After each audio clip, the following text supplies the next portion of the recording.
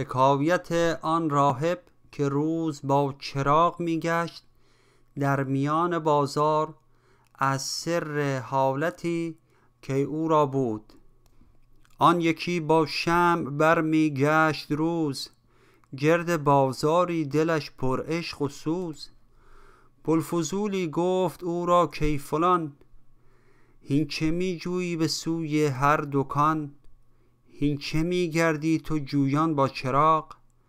در میان روز روشن چیست لاغ؟ گفت می جویم به هر سو آدمی که بود حی از حیات آن دمی. که بود حی از حیات آن دمی. هست مردی گفت این بازار پر. مرد مردمانند آخر ای دانای هر. گفت خواهم مرد بر جاده دو ره در ره خشم و به هنگام شره وقت خشم و وقت شهوت مرد کو طالب مردی دوانم کو به کو. کو در این دو حال مردی در جهان تا فدای او کنم امروز جان. گفت نادر چیز می جویی ولیک غافل از حکم و قضایی بین تو نیک. ناظر فرعی ز اصلی بی خبر. فرع ماییم اصل احکام قدر. چرخ گردان را قضا گمره کند. صد عطارد را قضا ابله کند. تنگ گرداند جهان چاره را.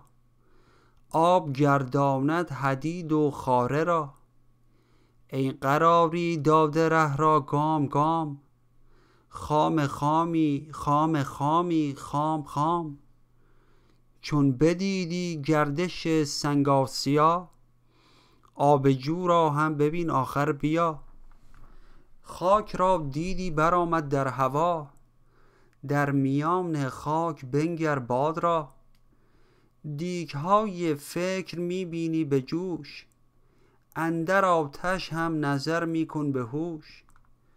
گفت حق ایوب را در مکرمت من به هر موییت صبری دادمت هین به صبر خود مکن چندین نظر صبر دیدی صبر دادن را نگر. چند بینی گردش دولاب را سر برون کن هم ببین تیزاب را.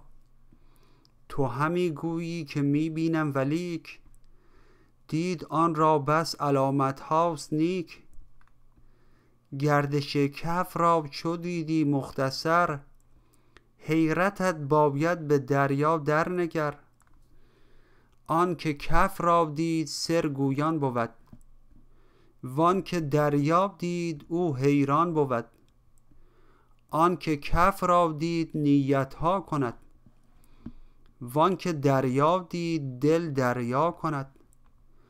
آنک کف ها دید باشد در شمار. وانک دریا دید شد بی اختیار. آنک او کف دید در گردش بود. وانک دریا دید او بی غش بود.